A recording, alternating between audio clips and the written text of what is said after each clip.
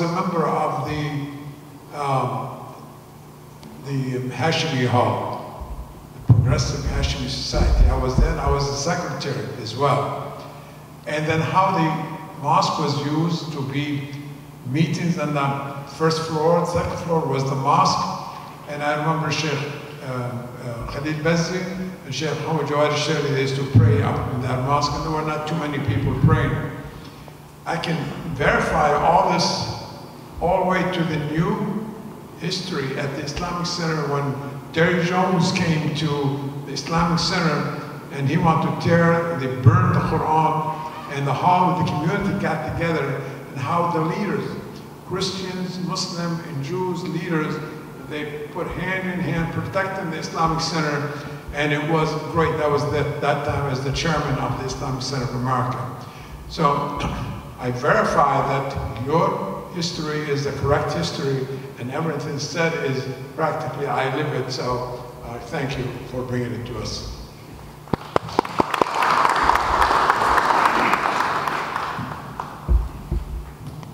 Yeah, I'm just curious, uh, do you know what's the percentage of uh, Christians with those initial uh, Arab immigrants in the United States?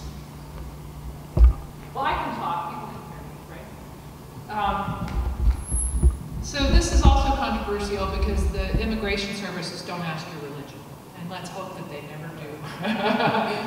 um, but so, and when people came in the early, like in the 1880s, 1890s, early, very, very early 20th century, there was no Lebanon. There was, you know, Syria was part of the Ottoman Empire.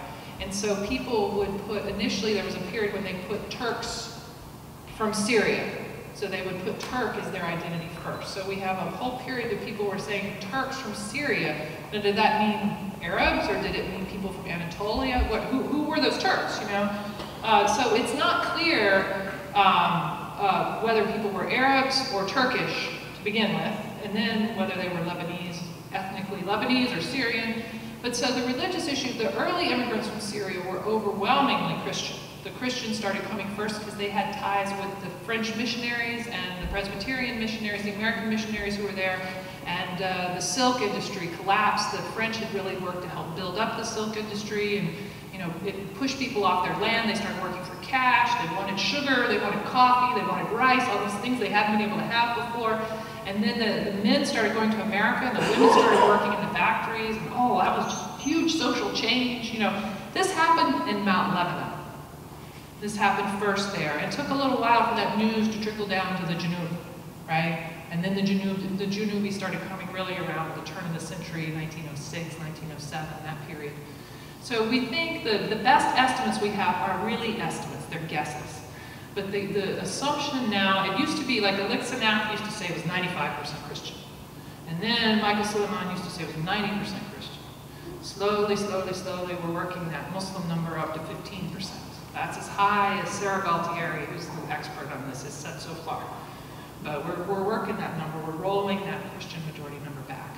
I think also in this period it was hard if you were, the first people who come are always men. Men go first and they kind of make their way and find security.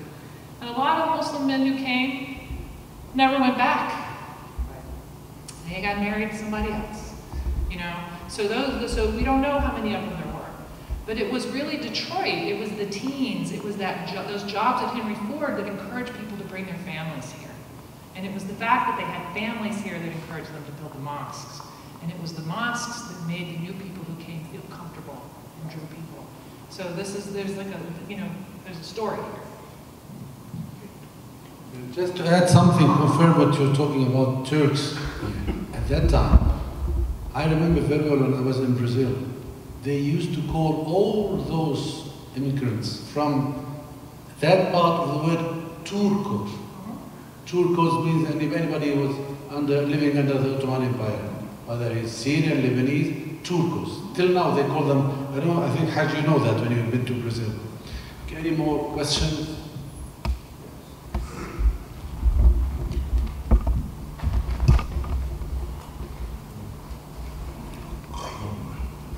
Hi, my name is Ahmed uh, You know, as a Muslim, we meet with other religions like Christianity and Judaism with the several values and principles. And the most important one is the recognition of God. And we all believe in uh, family values, and we all fight tyrannies and oppressors. That's when we all meet in common base in which we can produce uh, a good life. Uh, as you know, as a Muslim here, we live about 10 years, tens of years ago, since 1920, as you say. And uh, since that time until uh, about 10, 7 years, 10 years, uh, until now, the Muslim work and live peacefully, you know, uh, until uh, Daesh has come, you know, Daesh has distorted the religion, image of Islam, they describe Islam as religion of violence and war, and which is not true. Islam is religion always peaceful and wisdom and cooperation with others. I do need to see your view about that. This is how affect the situation as a, a religion like Christianity, Islam, and Judaism. We work and live together in this country. Thank you.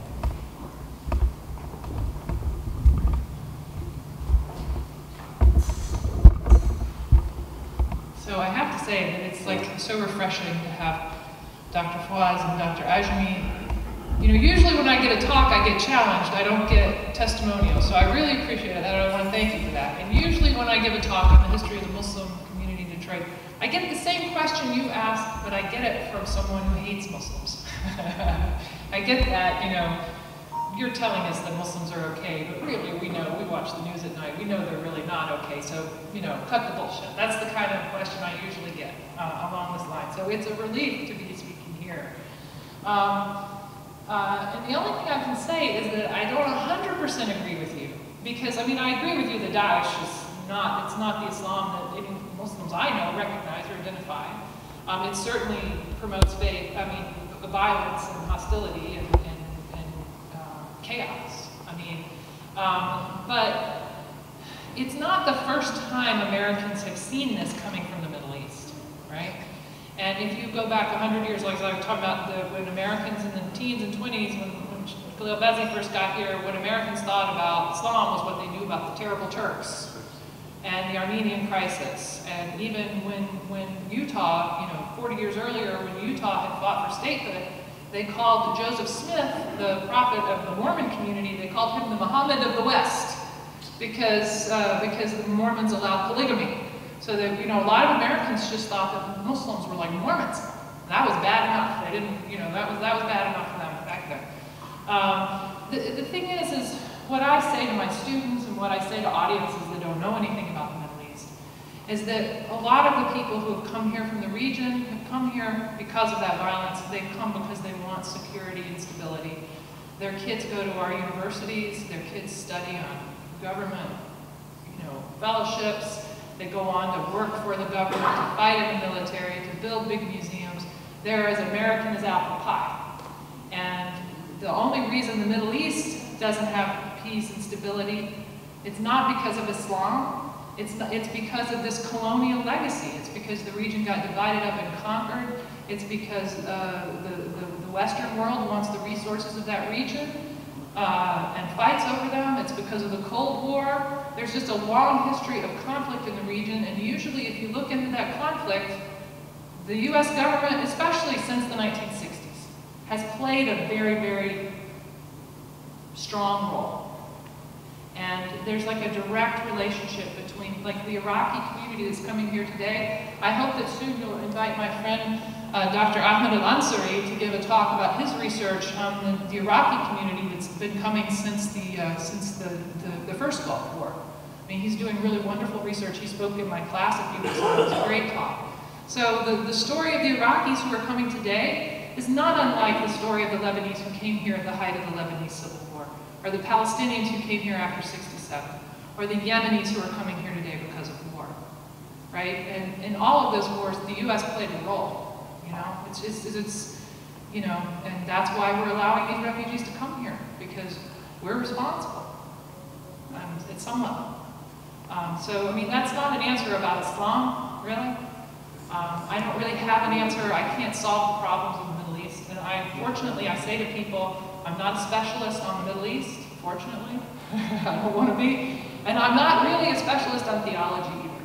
So when people ask me to defend the hijab or defend this or that or the other, I say I'm not. I will ask a Muslim to answer those questions. I hope that, hope that's Your Excellency, would you like to say something, Ms. Susan? Oh, that's it. You're welcome. Thank Okay, you all. Just one more question, because we still have uh, some poets, we love to hear poetry. So,